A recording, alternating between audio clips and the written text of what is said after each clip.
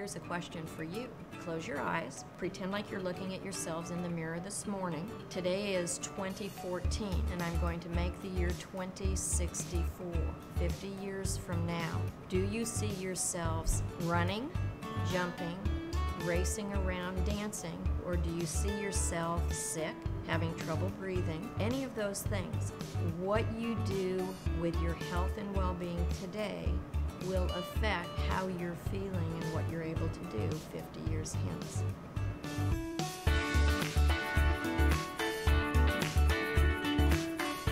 Yes, there are only four main words that anybody needs to know about nutrition and dietetics and health balance, variety, moderation, exercise. That's it. Somebody would naturally think that if I'm going into a field of nutrition and dietetics, it's about cooking.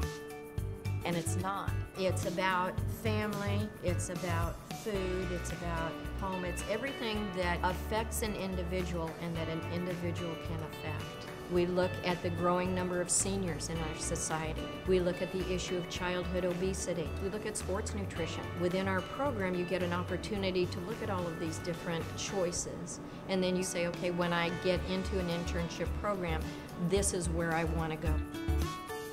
Across the country, when a student applies to a dietetic internship, only 54% get accepted. We had in this last go around 60% of our students got in.